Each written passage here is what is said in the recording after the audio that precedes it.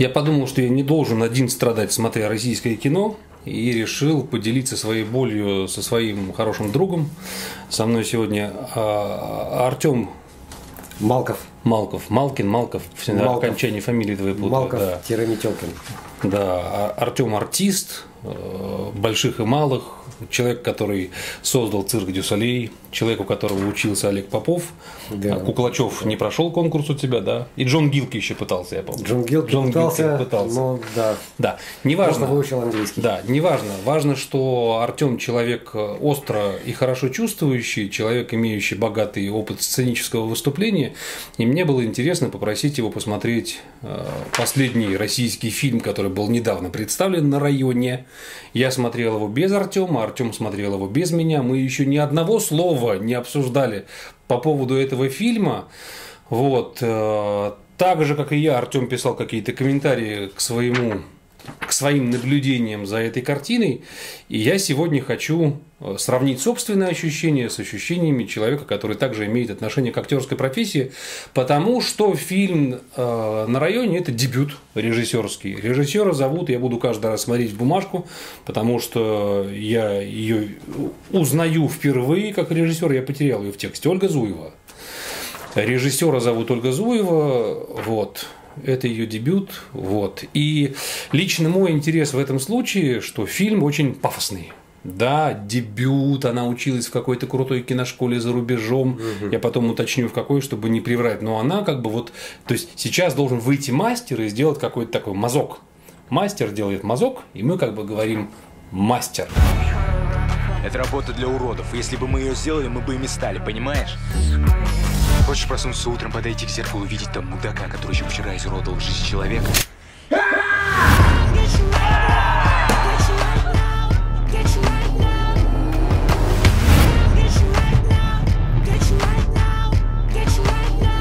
Давай тогда э, э, послушаем твои впечатления. Ну там зрительские, актерские. Ну хорошо, если как пафосно и как мазок мастера, не знаю, честно говоря, так не воспринимается на самом деле.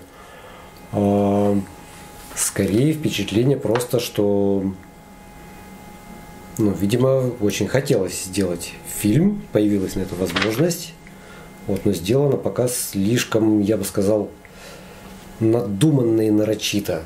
Вот скорее такое впечатление, потому что все сцены, события, сюжет как-то вот очень надумано.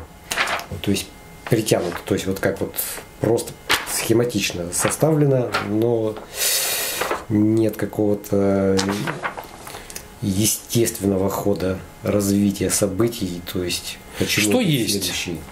Вот сюжет, он как-то хромает. Что есть? То есть вот Ольга хотела реализоваться, она вот в чем, в чем, в чем она себя выразила?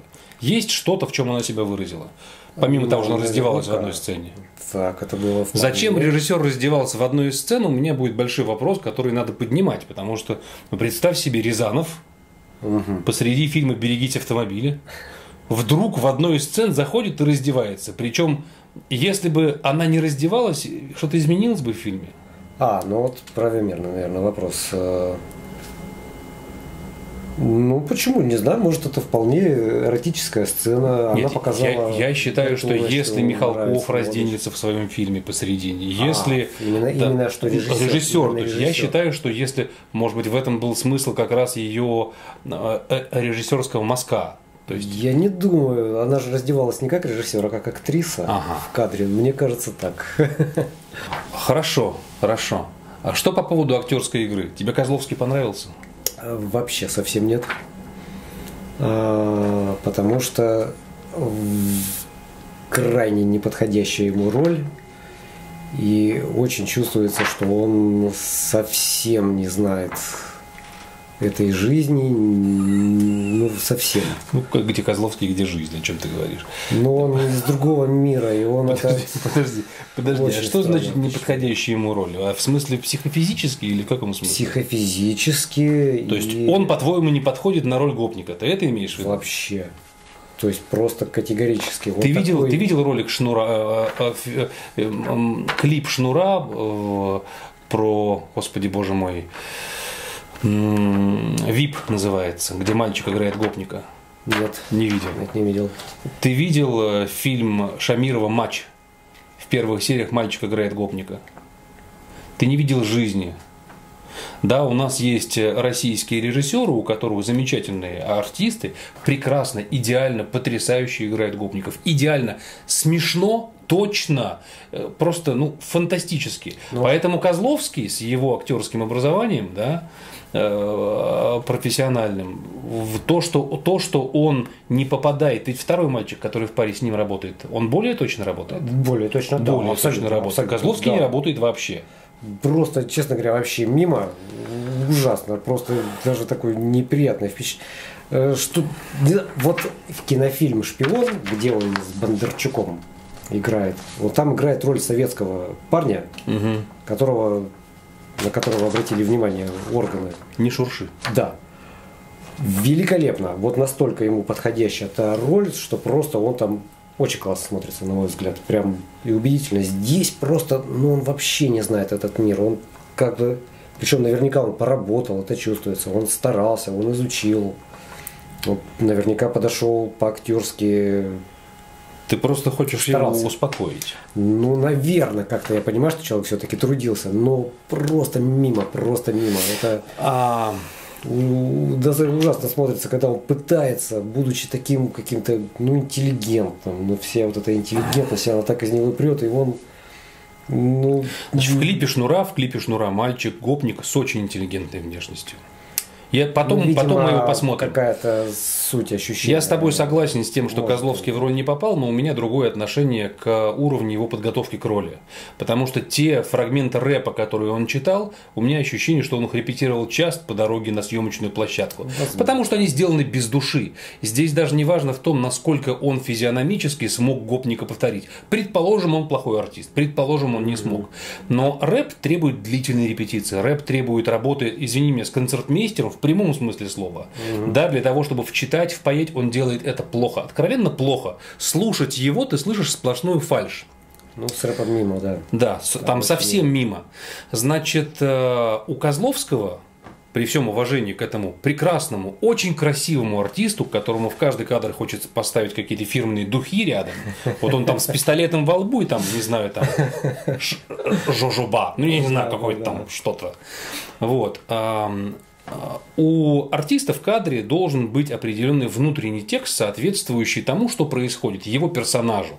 Создание этого внутреннего текста – это сложный процесс работы над ролью. Не все с ним справляются, и не все способны этот текст протягивать в моменты, когда персонаж молчит. То есть внутренний текст, он всегда течет. У Козловского есть единственный внутренний текст, который течет в нем на протяжении фактически всех ролей, которые он играет. Я охеренный артист. И поэтому он все, что делает, он играет лицом «Я охеренный! Я такой охеренный! Я читаю рэп, я охеренный! Я держу пистолет, я охеренный!» Ну, да, это чувствуется. У меня есть, у меня есть бесплатный урок актерского мастерства для Данила Козловского при всем уважении к его образованию. Я знаю, у кого он учился, я знаю, где он учился. Я уверен, что у него есть э, большой профессиональный задел, который он почему-то не может включить в свою работу. У меня был э, случай, когда одна из студенток была по внутреннему тексту очень похожа на Данилу Козловского. Что бы она ни делала, какие бы она ни чит- ни читала стихи, какие бы роли ни играла, она везде транслировала «я охеренная». Она читает стихотворение там про что-то, а на лице у нее и в движениях «я охеренная актриса». И она ничего не могла с этим сделать. Я ей предложил способ, как от этого избавиться. Я говорю, попробуй. Вот у тебя же это случайно получается, правильно? Ты хочешь, ну, прожить реально фрагмент того, что ты играешь. А получается так. Я говорю, попробуй специально играть «я охеренная». Намеренно это делать. После двух-трех проб, когда она стала читать стихи и играть какие-то отрывки, именно с этой мыслью и специально ее транслировать, она сказала, я все поняла. Это очень глупо. Я поняла. И она с тех пор перестала это делать. То есть от того, что она намеренно это транслировала, она поняла, как от этого можно избавиться. Э, э, Я сейчас не пытаюсь издеваться, я на полном серьезе говорю, что Данила Козловский играет именно этот смысл. И от него трудно избавиться. Это не потому, Да, что ну- он такой плохой, не буду я готовить роль, я буду опять играть, что я охеренный артист. Нет, это тот момент, к которому нужно найти механизм, чтобы его переделать. Ну, я под э, поддержу в этом мнении, потому что вот из последних его ролей, ну, очень сквозит в его игре вот это вот ощущение самолюбования, ощущение, что он такой вот Ему, неземной, ему не необычный, повезло. чудесный. Ему не повезло, он очень красив.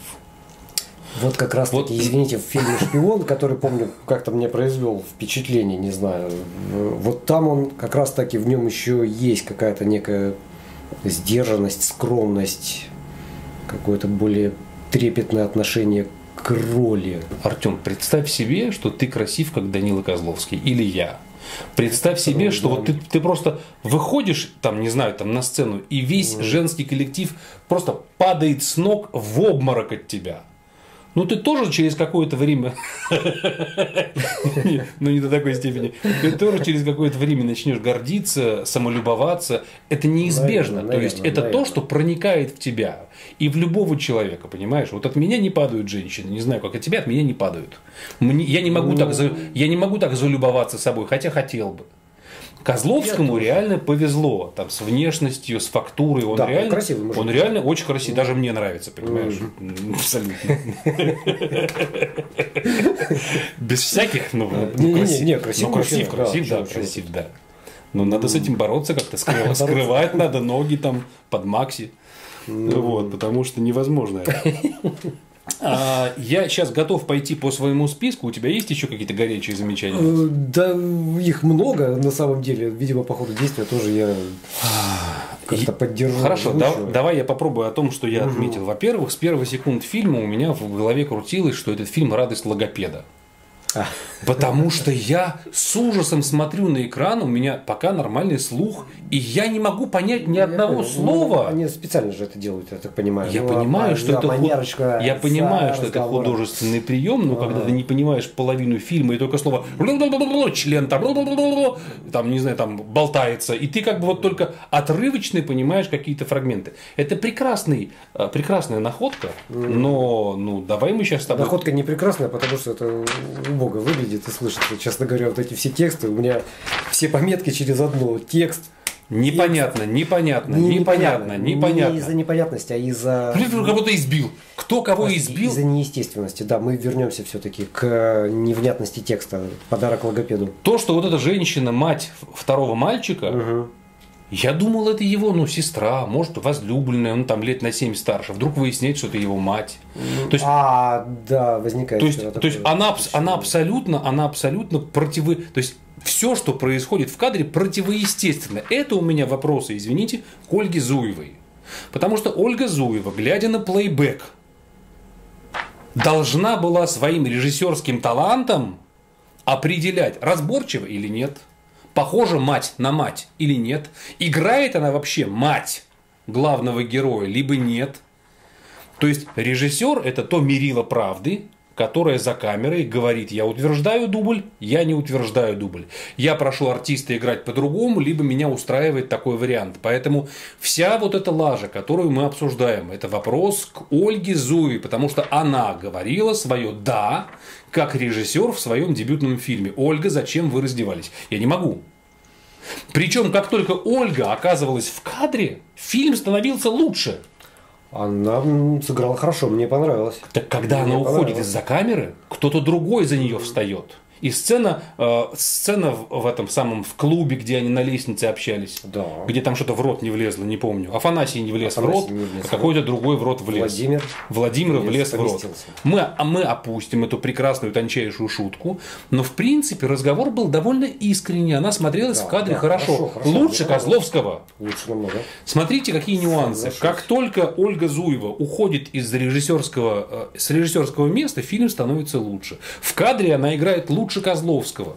Возникает вопрос, почему она режиссер, а Козловский играет? Может их поменять местами? Ну, интересно. То есть в чем, в чем, в чем здесь суть режиссерской работы? Она в чем проявляется? В том, что текст не ясен, в том, что мать на мать не похожа, в том, что Козловский лажает в каждой сцене. В одной единственной сцене он был подлинный, в одной из всего фильма. В том, что непонятно ни черта. В том, что сюжет фильма начинается за 10 минут до конца. Ну, когда они облажались, и у них там все украли, там это вот, Мгм. начинают сажать. То есть завязка фильма в конце. И, причем такая нормальная завязка, которая должна была быть в начале, по всей логике.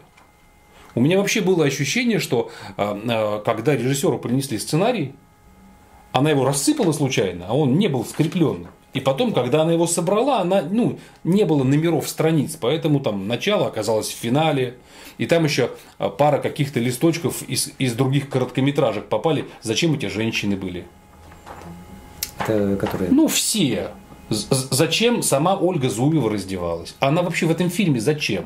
А если бы ее не Вот было? возник вопрос. Да. Да. я так понял, что только показать э, то, что Она раздевается. Володя. Нет. Нет, Володя. мне понравилось, как она раздевается. Она очень хорошо раздевается. Но какой смысл-то в этом фильме? Слушай, я, ну, если касаемо ее роли, то понятно, что она включена для того, чтобы показать, что вот этот- Режиссер красивый. Нет, что вот этот товарищ, который Володя, Ну, э, он пользуется популярностью у девушек. Вот он такой. вот- Козловский-то красивый. Почему она перед Володей раздевается? Почему Козловскому женщине не Ну досталось? вот и не- ее непонятно зачем, вот, да, как бы, что она показывает только то, что он вот такой вот парень, за которым девчонки вот прям интересуются. А с чего вот он такой? Он, не- он не такой красивый, как Козловский. Он не такой наглый. Почему, почему она за ним увязалась? Из каких соображений? Из жалости Почувствовала нет. в нем какое-то при этом благородство, наверное. Причем Поэтому- я, я- я про благородство. Я обратил внимание, что мальчик, я, я обязательно посмотрю э, имя этого артиста, мальчик, играющий в паре с Козловским. Маланин. Или, Илья Маланин, спасибо тебе, пожалуй, большое. Мгм. Илья Маланин изначально говорит как, как гопник и ничего не понятно, как плохой гопник, а потом вдруг говорит как высокообразованный, высокоинтеллигентный эм, э, ученик, не знаю, э, гуманитарного университета, философского факультета имени Патриса Лумумбы. То есть прекрасной речью, вукумплезир. Почему-то вдруг гопник в одной сцене говорит так, как будто бы у него э, магистратура, понимаешь, на лбу написано, а в другой сцене говорит Ну, как, как, как э, Они прям в гопник. это играются весь фильм, особенно Данила. То есть, ну просто в это играется. И это ну, смотрится, да, непонятно. Вот. А, Причем, если даже не касаться режиссуры, да, режиссура плохая, режиссер красивый, но режиссура плохая. В принципе, одно другое искупает. А, актерская игра плохая. Давайте посмотрим хотя бы на банальную логику. Просто логику такую, ам, бытовую логику. Итак, финал фильма. Главному герою, второму мальчику, эм, необходимо скрыться от правоохранительных органов и бандитов, которые его ищут. Ему выпал шанс имитировать то, что он умер, и он должен тихо-тихо, пока все считают, что он мертв, исчезнуть.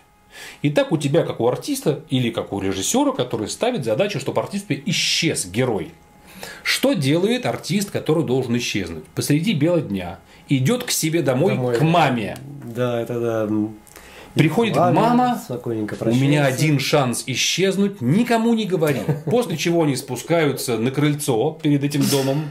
Да. На крыльце обнимаются, разговаривают. Мимо них люди ходят. Здравствуй, Вася. Здравствуй, здравствуй. Мама, никто не должен знать, что я жив. Я должен исчезнуть. Долгая сцена. Режиссер что, пьяный лежал в этот момент? Или репетировал сцену, как она раздевается? Дальше.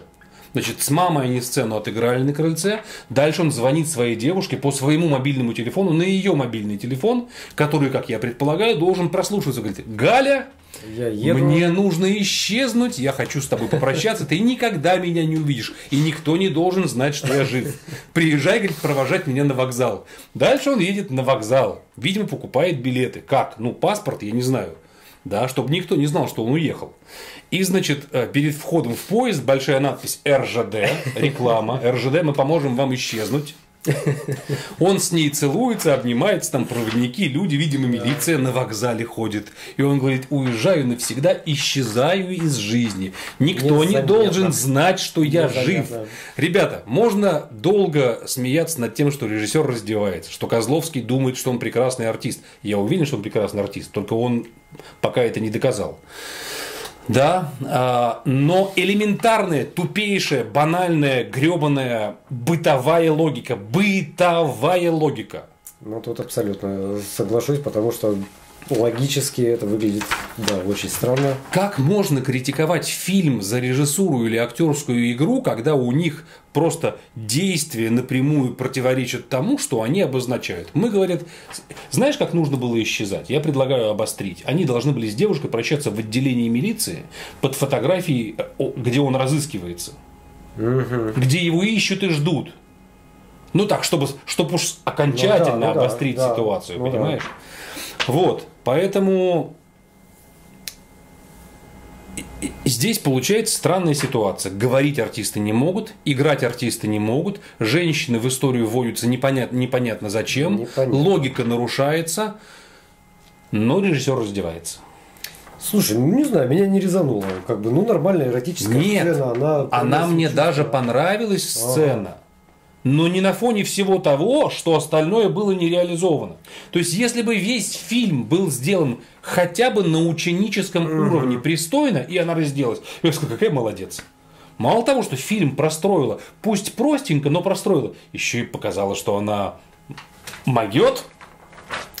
Ну, очень много странностей, потому что почему он ей грубит?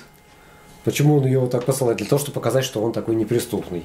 И что она за ним все равно ухаживает. То есть, ну вот, потом все-таки соглашается с ней провести время, при том, что только что он ее жестко игнорировал, прям говорит, видеть ее не могу. Потом вдруг почему-то одев... одев... Ну, как-то...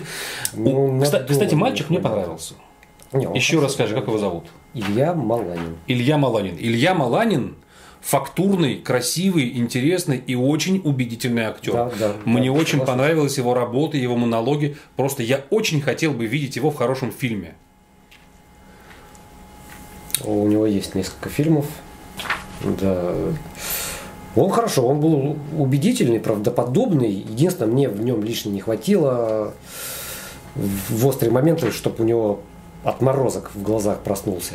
Все-таки должно быть вот это переключение, особенно когда он макал В краску. в краску. Было, Он- очень он было фальшиво. интеллигентный. И слишком интеллигентно макал. Вот в эти, да, Тюк. в эти моменты, не знаю, у человека, даже у благородного, интеллигентного, у него, не знаю, бык в глазах появляется. То есть там должно быть реально какое-то переключение, какое-то вот. Ну, прям- то есть он как минимум должен был помять ведро краски головой этого товарища. Как минимум. ну, короче, вот меня, здесь не хватило. меня в этой Да. сцене то, я тоже чувствовал фальш, когда он макает головой Ну в и в предыдущих тоже где-то, потому что И в последующих. ощущение опасности вот этой должно быть и переключение. Все-таки это другое состояние, измененка какая-то. Короче говоря, подводим итоги. А, Я, постоянно ругая российское кино, всегда думал, что я один такой больной на голову, что я к нему придираюсь. Сейчас я вижу, что я такой не один, да, и а- а- Артем, как человек остро чувствующий, в том числе и прежде всего фаль, фальш и правду, да, оказалось, что у него впечатления схожие с моими, и у меня возникает вообще вопрос, у меня возникает вопрос, а Артем не является кинематографическим режиссером действующим. Я тоже не являюсь режиссером. Да, у нас есть образование базовое, которое позволяет нам замечать эти банальные, отвратительные, ничем не оправданные ошибки. У меня возникает вопрос, а почему э, они допускаются? Почему у, у меня есть ощущение, что вообще у людей, которые делают фильм, нет никакого мерила. Ну, то есть, вот то, что ты сделал, и ты должен, ну, как-то это, дать какую-то этому оценку. У меня возник вопрос, что на фильм выделены деньги, они потрачены, Да. и эффект, не знаю, после фильма вышел с каким-то неприятным ощущением. То есть я по итогу не получил, то есть не обязательно оно должно быть приятным и восторженным. То есть оно может и вскрыть проблемы, как говорится, там и все такое. То есть, но как бы и ничего, ничего, то есть не получено никакого какого-то ни вывода, то есть просто какое-то даже какое-то неприятное было скорее ощущение. Неприятное. И столько талантливых есть людей, которые могли бы снять действительно что-то ценное для зрителя, действительно ценное. И они не имеют на это возможности. А тут тратятся бабки, ну, по сути, ну, не знаю, ну, блин. Ну, как попытка, как проба режиссерская, я думаю, она, конечно, имеет право быть. Но, например, Не за, не за государственные Да, деньги, да. во-первых. Во-вторых, э, но это плохая режиссерская попытка. ну, если это на экране, то это плохая. Да, посмотрите, прокате, посма- посмотрите, вот Балабанов, знаете, знаешь такого режиссера, фамилия Балабанов? Ну, такой, не очень известный, да. Э, Есть на Ютьюбе в доступе его дипломная работа. Я ее посмотрел. Она снята просто там на какую-то обычную домашнюю камеру с какими-то артистами, ну, условно, проходными, то есть очень проходная работа. Но уже в этой работе видно, что у него голова работает как у режиссера. Там виден почерк, несмотря на то, что она абсолютно студенческая в полном смысле слова. Ее нельзя продавать. Это не продукт, который продается в кинотеатрах. Но там виден почерк режиссера. Здесь вбухен, вбухан колоссальный бюджет на, на, на качество съемки, понимаешь, на, на все, на весь процесс организации съемки и ничего, шиш. Где режиссерский почерк? Его нет. Знаешь, на что это похоже? Вот э, есть разные агентства, которые говорят, приходите, у нас вы побудете актерами, вот мы вас быстро сделаем, почувствуете себя актерами. Или там детский конкурс, или не не детский, там какой-нибудь, приходите, вы будете петь на сцене как настоящие певцы. То есть это как бы имитация того, что ты актер, как бы ты походил по сцене, ты артист, или имитация того, что ты певец. Вот у меня ощущение, что это дорогая имитация того, что я режиссер. Я хотел поиграть в режиссуру, Ну, мое же да, имя в, наверное, фи- в наверное. титрах. Все ярко, все красочно, реклама большая прошла. Кто я? Я режиссер. Неплохо бы, чтобы еще люди, выходящие из кинотеатра, тоже говорили, ух ты, Ольга Зуева, надо будет еще и фильм посмотреть, что она еще снимала. Короткометражки. Это, это я не спрашиваю, что она понял, еще снимала. я да, говорю, что я пос- понимаю. посмотреть бы еще вопрос. что-нибудь. Это как я недавно посмотрел фильмы Шамирова, я не знал, мне их порекомендовали. Ты видел Шамирова что-нибудь? Нет. Уходи. Да, я не мог оторваться. Я вот так вот сидел, смотрел, я понимаю, что это большой-большой мастер. Вот с нами сейчас живет большой мастер в кино. Я тебе советую посмотреть. По поводу убедительности хулиганов, Ага. э, кинофильм э, «Закон каменных джунглей». Не, Не смотрел? Нет. Круто, мне очень понравилось. Это сериал, и там пацаны играют э, как раз таки Мгм. школьников, которые входят в этот криминальный мир. Но там настолько оправдан каждый следующий шаг, то есть почему они туда ввалились, то есть они как бы почему они этого хотели. Здесь вообще нет мотивов в этом фильме. Что они хотят этих денег? Где они эти деньги, если они их вроде бы только что заработали, сидят, пиво пьют, у них денег нет, чтобы пожрать. То есть я хочу тачку, я хочу тачку. Почему он хочет эту тачку? То есть, Не почему. то есть А ты смотрел, как Витька Чеснок вез Леху Штыря в дом инвалидов? Там весь фильм про гопника, который везет своего отца криминального, э, ну не авторитета, ну э, бандита, воздавать в дом инвалидов. Там весь фильм про гопника, не видел? Хорошо, вам решать, идти ли вам на этот фильм. Лично я э, не рекомендую на него В ходить. качестве домашнего задания мне было очень интересно посмотреть, вот если с таким мотивом, Нет, если вы, если вы актер, артист и хотите знать, как не надо играть, то идите, безусловно, посмотрите Это на те интересно. ошибки, которые делают режиссеры и, и актеры. Если вы зритель и несете свои деньги за то, чтобы унести с собой какое-то удовольствие от переживаний, вы, кроме гадости, с собой ничего фильм не один из самых дорогих. Я при покупке билета не сразу нашел э, подешевле вариант. То есть там и, и Ну. по 600 есть, и дальше. Хороший контент стоит Да, хороших денег. да, да, да. да. И никто тебе их не вернет. Да, смотрите, если вам любопытен подобный э, формат разбора российских фильмов, э, собственно говоря, мы с Артемом можем его продолжить. Я думаю, это будет интересно и поучительно. Да. Спасибо за помощь. И за переживание этого ужаса. Да нет, это было интересно.